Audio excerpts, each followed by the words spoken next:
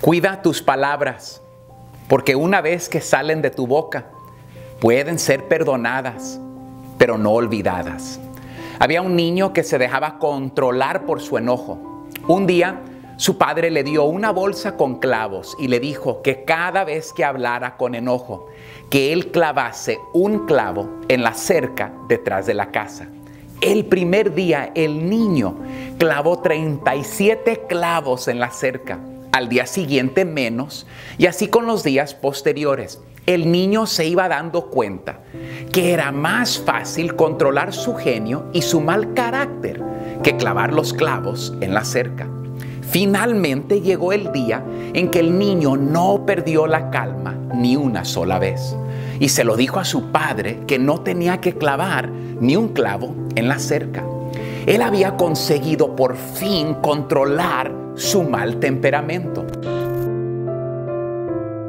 Su padre, muy contento, felicitó al hijo y le dijo que por cada día que controlase su carácter, sacase un clavo de la cerca. Los días pasaron y el niño pudo finalmente decir a su padre que ya había sacado todos los clavos de la cerca.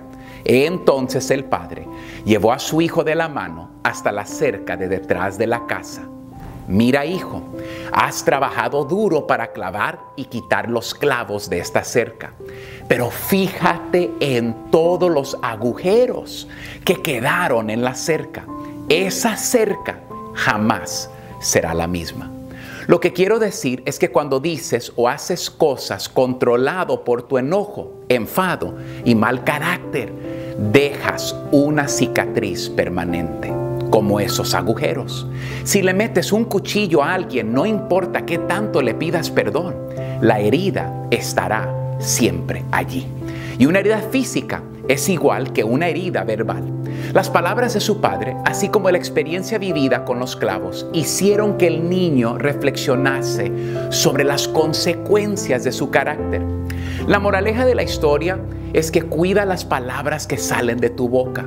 No digas cosas de las que después te vas a arrepentir por no controlar tu mal carácter. Es más fácil mantener la calma que tener que pedir disculpas a alguien.